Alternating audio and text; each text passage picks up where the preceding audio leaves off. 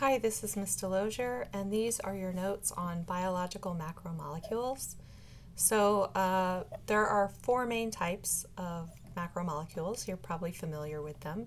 Uh, they are carbohydrates, lipids, proteins, and nucleic acids. And of the four types, three of these, carbohydrates, proteins, and nucleic acids, are what we call polymers.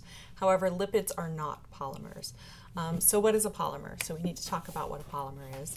Uh, polymers are a specific type of large molecule made up of smaller molecules. And so when we're talking about biological macromolecules, we're really talking about polymers. So why do you care? Well, you should care because a lot of the um, the foundational molecules for the structures that we're going to be talking about in anatomy and physiology are actually made of polymers. So it'd be helpful to actually understand, you know, the differences between the molecules and how that impacts the, uh, the structure and the function of the human body. So let's talk about what a polymer is.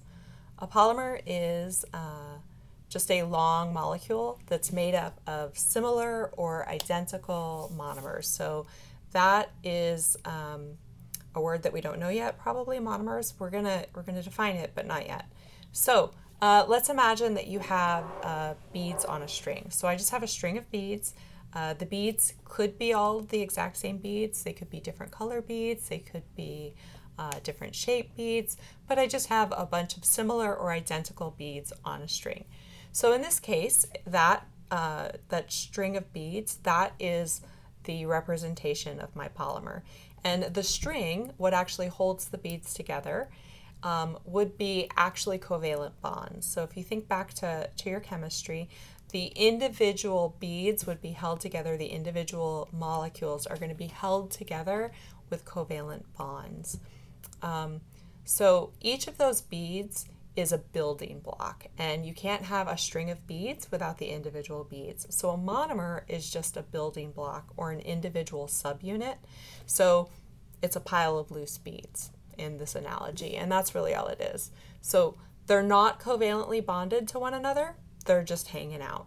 So the question is, how do I go from a pile of loose beads, um, which are useful, but not necessarily the end goal, um, to a polymer, or vice versa? How do I go from a polymer that I, I ate and consumed in my food and then break that down into its constituent monomers so I can go ahead and make something else out of it. And so that's what we're going to talk about next. So we're going to talk about building and breaking macromolecules. So specifically, we're going to talk about building and breaking down uh, polymers.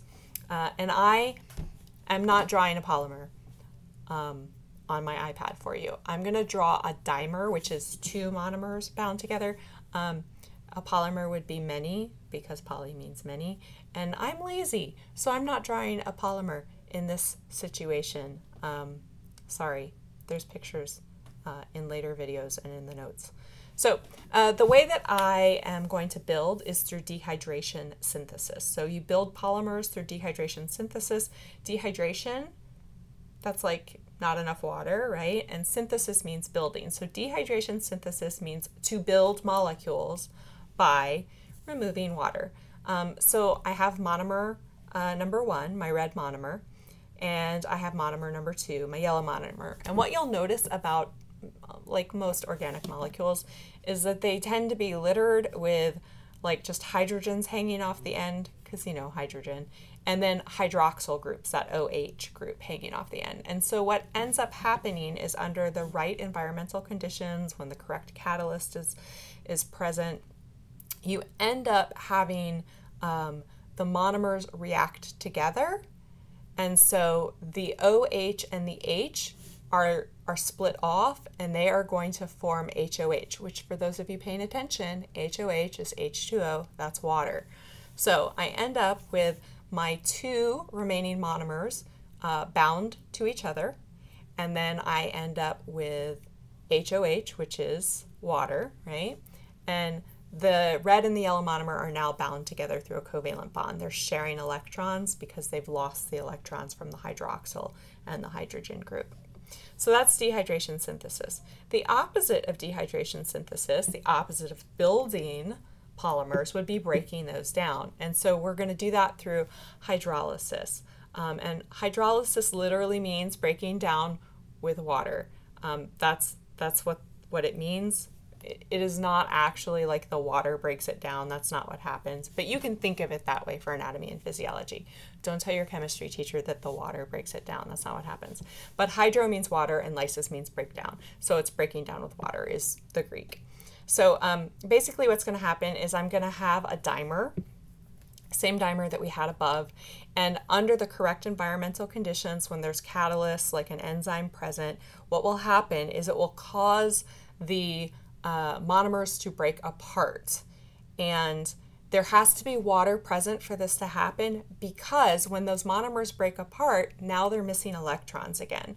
So what's going to happen is this, um, the dimer is going to go ahead and break down into its constituent parts and the hydroxy group goes one way and the hydrogen group goes the other way and you end up with my original monomers that I had to begin with.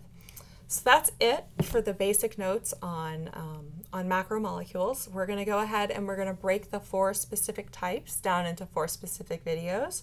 Um, I suggest you watch through them, but you don't really have to do like a bunch of notes on them unless it's something that you completely don't remember.